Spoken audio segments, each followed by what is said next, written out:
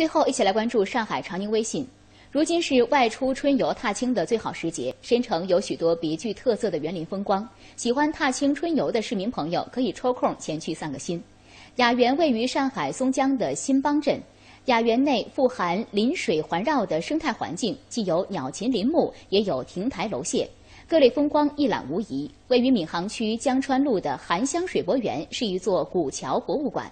也是一片名木古树的保护区，园内有百年以上古树六百余棵和一建的古桥数十座。